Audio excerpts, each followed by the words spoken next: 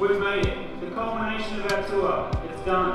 Six months on the road, Western Australia, during COVID, during a pandemic. Strap yourselves in. I hope you enjoy it. We really appreciate it. Give this guy a massive, massive round of applause for everything he's done. Please get it up. Get it up and welcome. Jimmy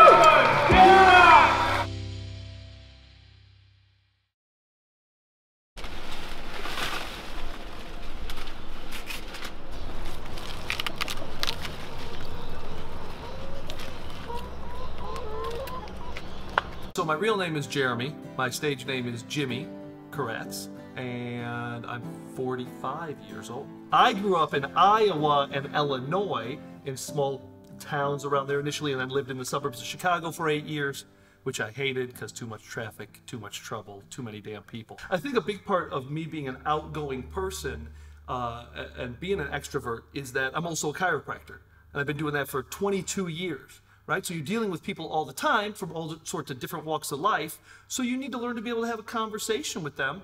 And then, you know, while you're working on them, you're trying to distract them so they relax and, uh, you know, so telling stories and stuff. When I was growing up, probably by the time I was about six years old, I knew I was a hillbilly because my mom was in the kitchen cooking dinner. She said to me, Boy, can you find me some oil?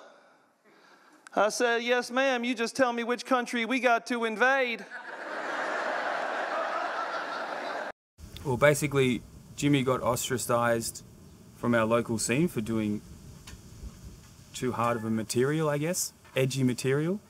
Uh, I eventually saw Jimmy at a Raw contest final, and he came up to me and said that he was going to start doing open mic rooms and some other things, and he'd want me to come along and, and start doing comedy with him we're, we're very different comedians, but I just respect people that are trying to do on the edge comedy because comedy is about talking about uh, difficult issues.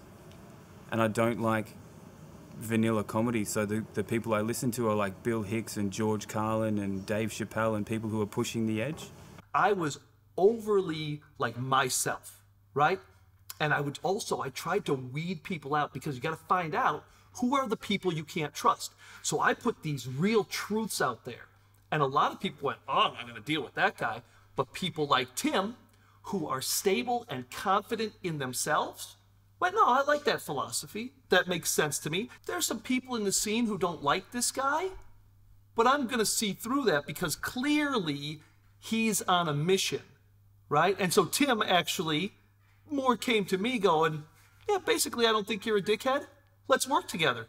Here's another one people don't realize now. These days, you can't call them special needs no more.